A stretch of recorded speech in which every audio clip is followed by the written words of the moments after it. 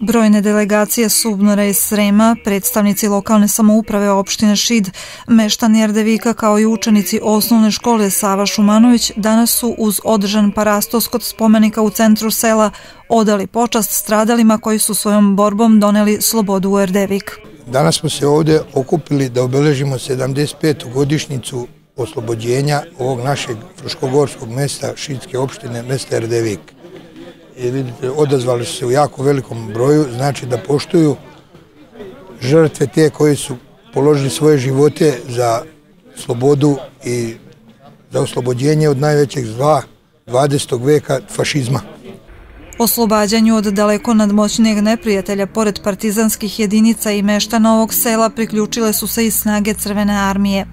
U znak sećanja na sve oslobodioce, U holu osnovne škole Sava Šumanović otvorena je izložba pod nazivom 75 godina oslobođenja Minska i Belorusije, posvećena borcima iz Belorusije koji su učestvovali u oslobađanju Fruškogorskih sela, takođe i u čast nedavne posete predsednika ove države Aleksandra Lukašenka.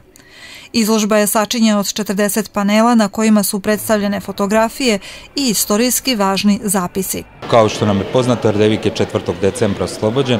Oslobodile su ga jedinice Narodno-oslobodilačke vojske Jugoslavije uz pomoć i podršku jedinica Crvene armije i pojedinih grupacija Bugarske narodne armije.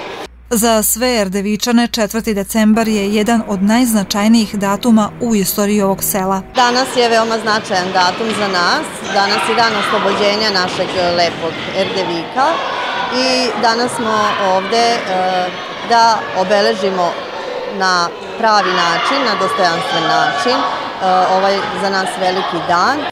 Izložbu koja će biti otvorena narednih 10 dana organizovali su Istorijski arhiv Srema i osnovna škola Sava Šumanović u saradnji sa Ruskim domom u Beogradu. 75 godina slobode danas obeležavaju i meštani Sota, Molovina i Bikić Dola.